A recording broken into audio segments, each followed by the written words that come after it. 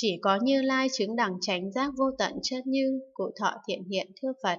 Bạch Thế Tôn nhờ đâu Ngài chứng vô tận chân như? Phật dạy, thiện hiện, Phật nhờ chân như nên chứng vô tận chân như như vậy. Cụ thọ thiện hiện thưa Phật. Bạch Thế Tôn Như Lai chứng vô tận chân như thế nào?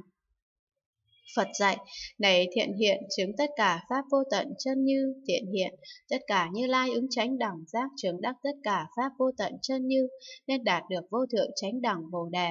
Vì các loài hữu tình phân biệt chỉ rõ tướng tất cả pháp chân như, do đó nên gọi là đấng thuyết pháp chân thật.